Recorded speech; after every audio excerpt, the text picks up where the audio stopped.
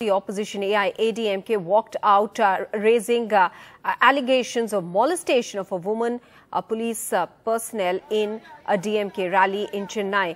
AIADMK MLAs uh, uh, protested today and what they called a deteriorating law and order situation. They were all wearing black clothes to protest. AIADMK also alleges a rise in the use of ganja in Tamil Nadu. MK Stalin says an FIR has been registered uh, with regards to the case of alleged molestation on the very day that the incident took place. Two uh, arrested have been sent to judicial custody uh, in 72 hours. Stern action will be taken against anyone harassing women is what the government has said.